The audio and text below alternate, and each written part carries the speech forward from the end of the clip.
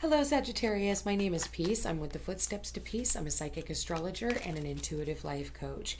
If you are interested in a personal reading, please feel free to check the description box down below. There you'll find the link to my website, thefootstepstopeace.com. Also, like, share, and subscribe. You know I appreciate it. And hit that notification bell so you can be updated the next time I post a video. All right, Saggy. So we're going to go ahead and get started. First card you come up with is the Page of Cups. This is either giving or receiving a message from someone else. Uh, uh, that is an apology, possibly, or a surprise. Um, your challenge position is the Justice card, so balance being restored. And um, I feel like doing the right thing is the challenge. Maybe doing the right thing and setting this record straight. Uh, maybe there needs to be a text message, a phone call, an email, or some type of travel that is coming up or, or uh, that needs to be put out. Or maybe there was a message that came in for the Sagittariuses. Spirit, please show me Saggies. Yeah, uh, it's about the Four of Cups in reverse, not accepting other people's offers, uh, you know, and I feel like someone here just did not want to give to the relationship. Okay, yeah, someone here has gone cold on this. Okay, someone here is not talking and they are standing very firm in that decision. They have nothing to say to you. Okay, um, it could be a very cold, cutting energy, uh, or you could be dealing with somebody who's a complete asshole. You could be, you or the other person definitely could be spying on. Uh, I think you guys are spying on each other, possibly, or you're spying on them, they're spying on you. Uh, and then you've got the Nine of Cups in the reverse. All right, that is wishes not being granted, and very well could have to do with addictions. Ooh, Sag. You got the Queen of Cups in the reverse now. You've got the Ten of Wands in the reverse. That's the, that's a good card in reverse. And Ace of Pentacles in reverse. Five of Swords is the overall energies. What's going on here, Sagittarius? What is happening here? Okay. Wow, Five of Swords. Okay, Five of Swords as the overall energy is uh it's fighting, arguing, it's bickering, bitching back and forth with someone, someone here being extremely cold. For some of you, maybe there's just I want to say that this is a relationship. It, this reading, I did ask for the energy between you and another person. I feel like, um, oh, this is, ugh. um, let me see. Why is the, oh yeah, okay. So someone here, I just clarified the King of Swords in the reverse. The King of Swords in the upright is someone who is very analytical, somebody here who is really good. They think very well on their feet. Uh, they are matter of fact. Um, they're they're the type of person who's going to tell you the truth, the whole truth, and nothing but the truth. When the King of Swords is in the reverse, this is someone who is narcissistic. It's someone who is uh, cold and mean and very cutting. And I feel like this person is very smug. I feel like this person is very cruel. Uh, I I just feel like, and you're trying to weigh up whether or not you want to stay in a relationship with this person, uh, whether this is a friendship, this is a husband wife, you know, situation, any one of those things. I feel like you're dealing with someone who is narcissistic. Um, this person could give two shits about who they hurt and they have no qualms saying whatever they need to. And it's like out of nowhere, uh, you know, you're sitting in there washing dishes and they come in and they cut you down. Thank you, Spirit. Um, this person very well does have an addiction issue as well. You or the other person and i feel like you know the drinking needs to stop you know with the queen of cups in the reverse over the you know nine of cups in the in the reverse. This is someone here you and the other party that has addiction issues. You know whether that's you know addiction to codependent relationships which i can very well see that. I i do want to say here that someone is cutting off their financials towards you uh, Sagittarius, I feel like you know they are not accepting anything that they're you're offering. Uh, there's no more money coming in for from a source. I feel like when looking at this, oh wait, hold on. Uh, I want to see with the Page of Swords. Yeah, see, this is a money situation. Um, with the Page of Swords, this is someone who is spying on someone. Um, and I feel like what you need to understand is justice has now been served, and maybe you haven't seen that yet, but it's coming in. And I feel like this person is cutting off all ties financially to you, or you're cutting off fin- financial financial ties to someone else. Someone here is getting the fuck out of Dodge. They're over it. They're done. They're they're not dealing with it anymore. And this person is very successful. They're doing it like it is nothing. They're making it look good. They have already strategized their asses right on out of here. So uh, someone here is getting out. Like they're done. So it's like you don't have any more power or control over this person. And it's like now you're weighing up, like, what the fuck do I do? You know, it's really funny. I know so many Saggies who are in these relationships where it's like the only glue holding you and your partner up is your your your hatred towards someone else. And when I look at the King of Swords in the reverse with the Three of Swords and the King of Wands who's sitting here all, you know, smug and like just lazy in his chair, you know, like weighing up his pentacles, it's almost like the glue sometimes the glue to your relationship that you've been that has been holding you together is another person that you can't stand. And that person is now leaving. So now you're stuck with this person by yourself. And the other per the other person is like no more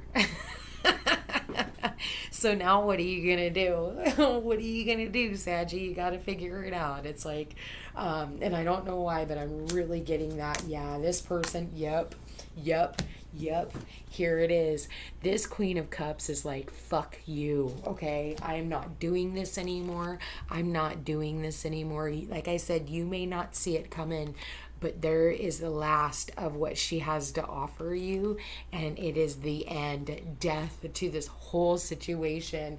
This Queen of Cups, she's sitting over here on her own doing her own damn thing. She's like, I'm not playing into your guys' addictions no more. Wow, my nose is really going crazy. So, Saggies, whatever this is, this is pretty uh, gnarly shit. This might not be for everyone, but there's a couple of Saggies that need to hear this message. Someone here is putting down you as a burden, or you're putting them down. But I did ask about the other person. So, I feel like somebody here isn't going to feed your toxic addiction anymore to them. Uh, yeah, Nine of Pentacles. Yeah, this has to do with um, contracts. This has to do with legalities. This person is like, fuck this. I ain't no fool. I'm out of here. I took the keys back.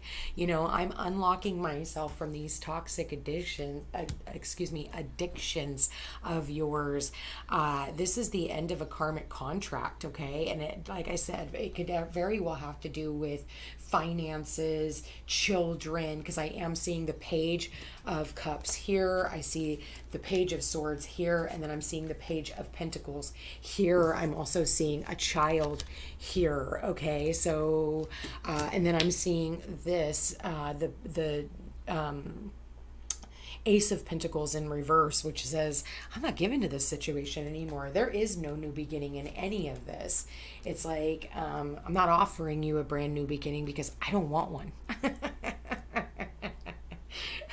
justice is being served and i just feel like uh, whoever this is they are done yeah they're cutting you off ace of swords I just said they're cutting you off. Ace of Swords. Here's the sword. It's like truth. Here's the truth, the whole truth, and nothing but the truth. Um, I'm going off on a brand new beginning. And again, you don't see this coming. Uh, I think this is going to be a huge surprise. Someone here, the way I look at it, you know, the way I'm looking at this reading is nobody won. You're thinking you won, they're thinking they won. Here's the deal nobody won. Okay, when the Five of Swords is here, the Five of Swords always says that there is no victor okay in any of this the children don't win you don't win the kids you know the the nobody wins period so, um, yeah, yeah, see, this is taking back control of their life. They're not accepting whatever it is that you have to offer anymore. Okay. Um, you know, I feel like it's like you can keep trying to come out with your, I feel like it's an empty cup. And, you know, I feel like with the emperor here, he's like, I'm not, I'm not there's no more offer there's no more money there's no more stability in any of this. So i feel like you need to just take back the reins to your own life and decide on what it is that you need to do. Decisions do need to be made on whether or not you're going to go ahead and continue in this relationship and keep going through the same cycles or if you want to go ahead and expect you know, to end it and move forward with this new life that is being on offer to you. I feel like honestly, Saggies, if you guys are stuck in some type of type of an addictive pattern, it's time for you to end it. It's time for you to decide on how you want to live your life and then go out and be free and be happy to do so. Uh, but expecting, you know, spying on people and, you know, dealing with narcissists, it's, it, it just, it's not, it's not attractive. ah, show me the Saggies. All right. Trust. This situation is calling for you to have faith. And Spirit, please show me Sagittarius. Please show me Sagittarius, Spirit. Okay. Yeah, forgiving and learning as you release and heal the past, you experience more love in your present moments. So, like I said, I feel like you and another person were being a bully to someone else, I feel like there is needing to be forgiveness and trust. Um, I feel like I said, I don't know if, and I, because I do feel like this is a third party situation for some of you Saggies. It's like, I feel like I might be talking to a feminine here that's dealing with a masculine um, that also is dealing with their ex or something here. Okay, so I feel like it's a third. There's three of you to this, um, and I feel like you're somebody a couple of you are acting very immature when i'm looking at these pages and there's someone else over here like just trying to do their own thing and be as mature as possible about it so whatever wherever you're standing you might want to just take a step back and again take this opportunity to forgive and learn from the situation so that you don't continue to uh, cycle it through. Spirit, please show me. Okay, Saggies.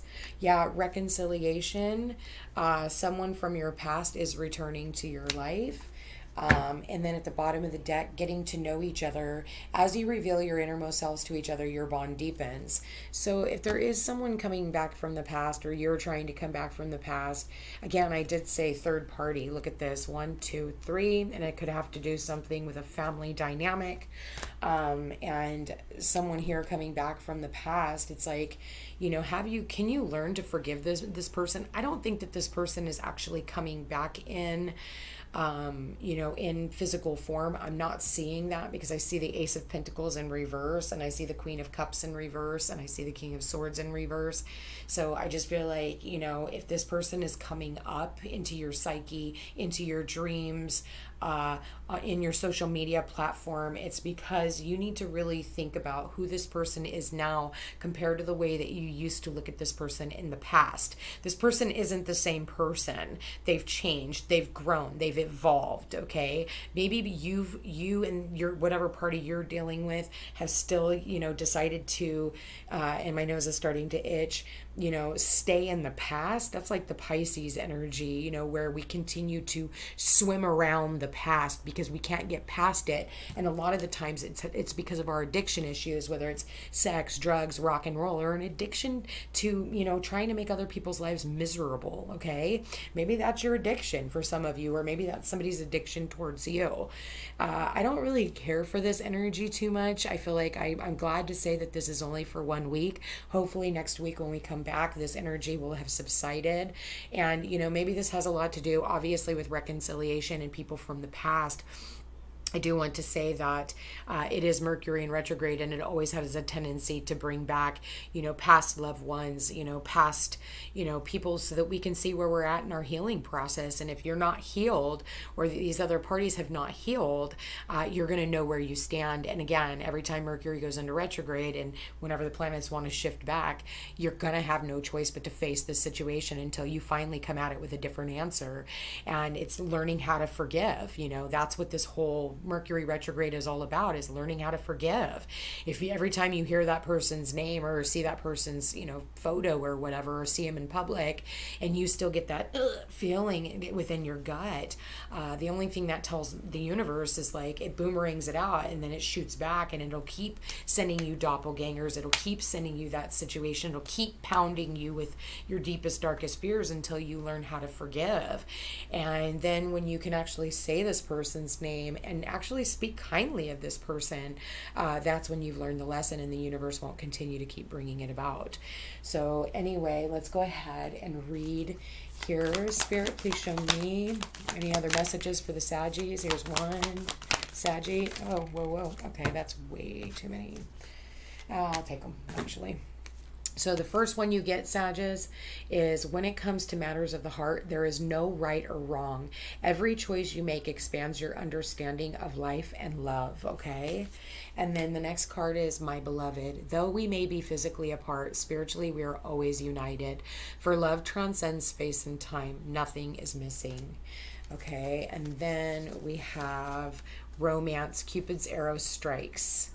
And then we also, funny enough, this little kid has an arrow right here. So I do feel like for some of you, um,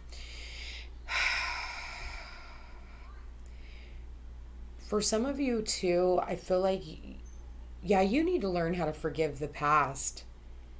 I think that you're also waiting on someone to return again.